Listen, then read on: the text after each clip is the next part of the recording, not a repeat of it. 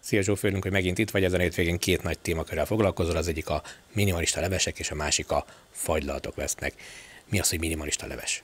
Kezdünk a minimalista levesekkel, ami azért minimalista, mert tényleg gyakorlatilag két hozzávalós leveseket fogok mutatni.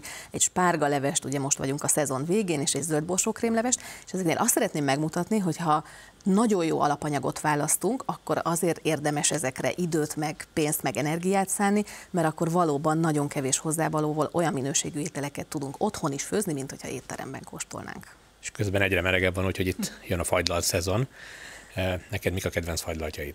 Én ebben is a minimalista elmélet híve vagyok. Én mindig tartok otthon a mélyhűtőmben vaníliafagyit, mert azzal annyira változatosan lehet egyébként előállni akár egy, egy ilyen villantós desszerttel is egy családi ebéden vagy egy vacsorán, hogy mindig érdemes tartani. Úgyhogy azt fogom megmutatni, hogy ilyen kamra alapanyagokból mi mindent lehet varázsolni, sós karamella öntetet, piros bogyós gyümölcs öntetet, balzsamecet, tökmagolaj, szóval olyan, amit ugye az ember tart otthon, és abból lehet nagyon különleges fagyikelyheket varázsolni.